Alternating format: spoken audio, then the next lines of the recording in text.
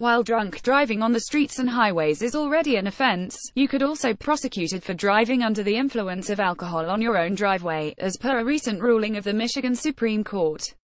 The court referred to a case pertaining to a Northville Mangino Rea, and said he could be charged by the authorities for drunk driving even if his car did not leave the driveway.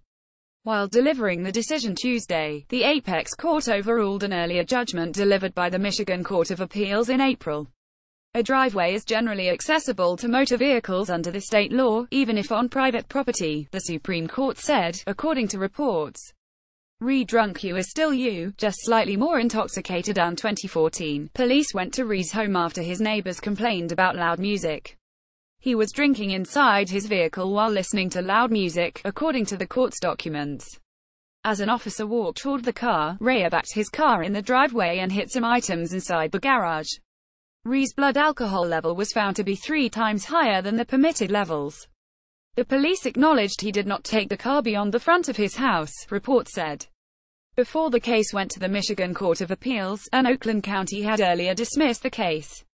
The court said he was not operating his vehicle in an area generally accessible to motor vehicles.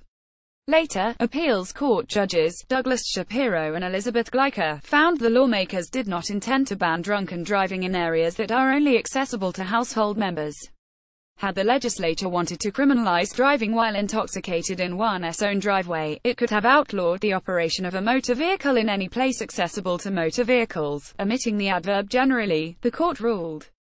According to the state law against drunken driving, a person, whether licensed or not, shall not operate a vehicle upon a highway or other place open to the general public or generally accessible to motor vehicles, including an area designated for the parking of vehicles within this state if the person is operating while intoxicated. However, the third judge, Judge Kathleen Jansen, disagreed.